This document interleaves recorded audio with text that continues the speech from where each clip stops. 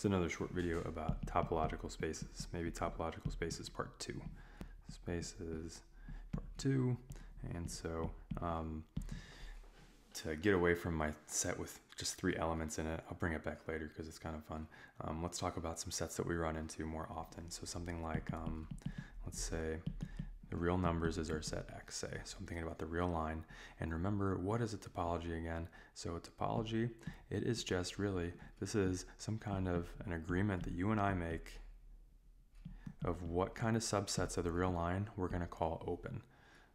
So agreement of what subsets of R and well, X in general, whatever your set is, in my case R, we call open. And so the one that I'm going to tell you about is how about the subsets that uh, you know contain a legitimate open interval with parentheses, like college algebra? Uh, you could put one of those around your point in that interval or in your set. So, uh, what's like a more um, formal way to say that? So let's say T is equal to the collection of something like all U. Uh, that's it's a subset of R such that the following happens.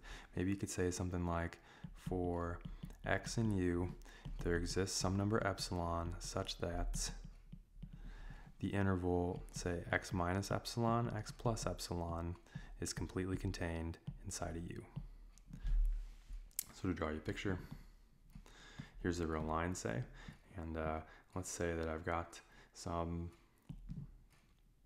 something like this say let's say that both of these things together form u what i'm saying is if you've got a particular x in there to say that this is open means that we should be able to find some epsilon such that this open interval here, x minus epsilon to x plus epsilon, completely fits inside of u again.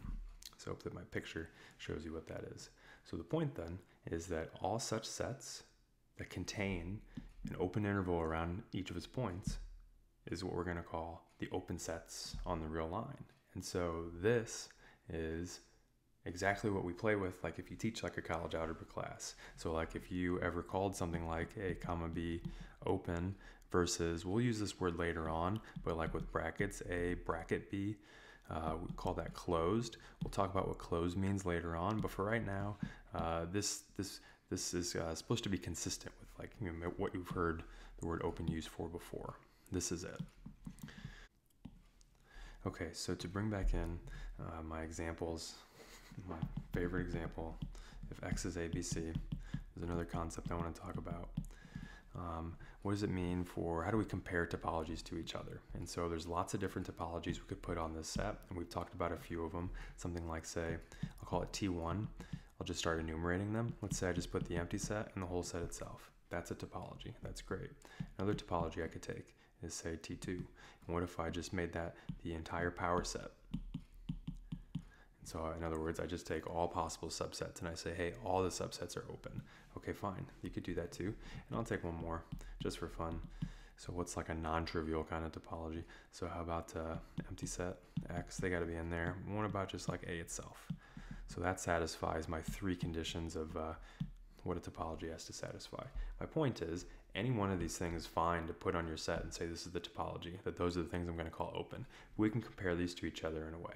So the uh, words we're going to use to compare topologies to each other is uh, finer and coarser. And so we would say, um, let's say, how does this work? Well, T1 is definitely contained in T2, right? Empty set X are definitely just part of the power set. So T1 is contained in T2 so maybe I'll write it this way instead of say. So T1 contained in T2 means that uh, T2 is finer than T1. So T2 has more stuff in it. That, that's what it means to be finer. More stuff. On the other hand, and another way to say that is T1 is coarser than T2. Coarser means less stuff. Great, so if I look at the rest of these here, um, well, uh, in this case, T3 is also finer than T1 since T1's right there. It's part of T3, so we could write that down. So T3 is finer than T1. Uh, on the other hand, though, um, T3 is coarser than T2 because, well, empty set X and the single the singleton A, those are just three things from the power set. So T3 is coarser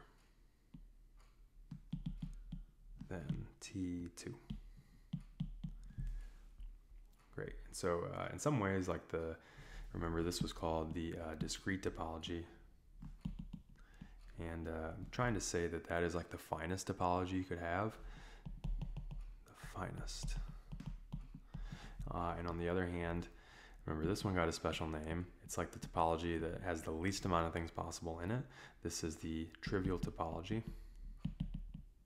And uh, if you think about it, this is like the coarsest topology you could possibly have.